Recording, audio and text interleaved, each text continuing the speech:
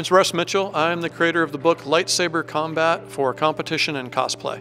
So, the basic idea I was having was to make a book for people who wanted to do lightsaber combat, but they didn't know what to do once they had the gear. They've got the fancy saber, they've got some protective gear, or they've got some cosplay stuff, and they just don't know what to do with the weapon.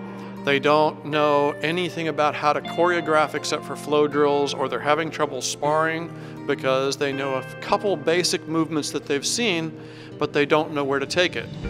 So, as a guy who's done 20 or 30 years of a lot of different styles of fencing, I went and I put together 13 or 14 very different styles for all the different types of lightsabers so that people would have a good base of what to do and work to come up with methods that were very visually distinct so that you could use them to portray different kinds of characters for cosplay and public demonstration stuff. The sticky part is that I've got the same artist who did a great job on my Hungarian saber book.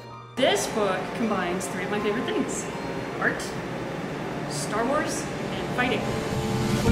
And if I'm lucky, I'm going to break even on that sucker from this last year because that was 100 to 120 photos, and getting sketches for that and drawings for that was a godsend because you can use art to convey information that doesn't convey easily in a photograph because you can make things slightly unrealistic in a way that communicates your idea better.